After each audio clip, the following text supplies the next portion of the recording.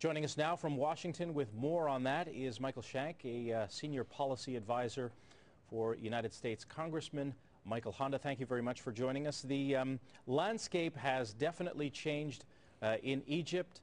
Has it become a more dangerous landscape from the United States point of view?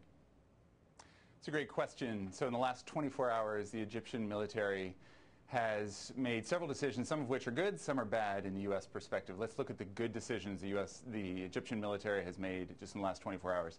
So they dissolved both houses of the parliament, the Shura Council and the People's Assembly. That's a good thing. They suspended the Constitution. That too is a good thing because the Constitution is what prevented uh, political parties from organizing, prevented presidential time limits, prevented free, uh, free media, prevented independent oversight of elections. All of that is good. The military saying that they formed a Constitution Review Committee that's going to put a product to the public for a referendum. All of that is good. What's concerning is that the military has announced today, Sunday, that they're going to stay in power for six months. They're not going to lift emergency rule. Mm -hmm. They're having elections in six months. Some of that's uh, disconcerting, some of that's you know favorable to U.S. perspective. Uh, Obama made calls this weekend to King Abdullah of Jordan, Prime Minister Erdogan of Turkey, asking for help. I mean, from the Defense Department's perspective, the, the military has been a tight uh, ally and a close collaborator. All of the senior military officials in Cairo have been trained at the National Defense University in Washington. We've given them $65 billion since 1950. So um, I think the U.S. is treading carefully here. I think it would be concerned to see the military stay in power for six months because what the protesters are saying, we want a civilian government uh, transition to immediately, not military in power for another six months. Is six months long enough to um, write up a constitution and uh, add water and all of a sudden you've got political parties springing up in six months? Is that enough time for all of these things to happen? Well, that's a great question because in the last 30 years under Mubarak's kind of autocratic rule, the Constitution has prevented political parties from even organizing. If you had three or more people, uh, you could be put in jail for organizing any kind of political uh, campaign or political party. So how do you now create politi robust political parties out of nothing? No infrastructure was there.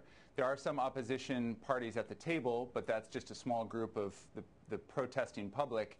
Uh, they have not put forth a policy. The opposition groups were going to put forth a proposal today. They didn't.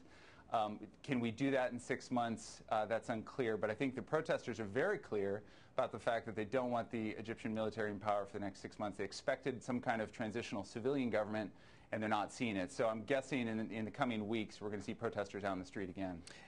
What kind of uh, signs would you have to get from the uh, Egyptian military that would spur Congress to say, you know what, uh, we give you 1.5 billion in aid every year. We think we're going to review that because of what we're seeing.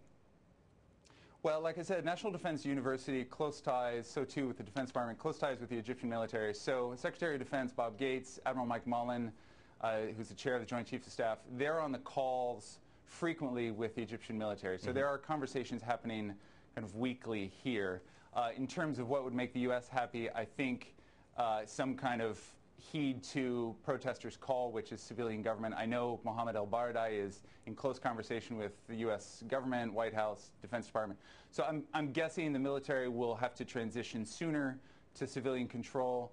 Um, how that's going to happen, obviously it needs to be tentative steps, but it has to happen. Uh, a lot for the United States and for the rest of the international community to uh, watch for. Um, thank you very much for joining us, uh, Michael Shank, uh, Senior Policy Advisor to U.S. Uh, Congressman Michael Honda. Thank you very much. Thanks, Scott.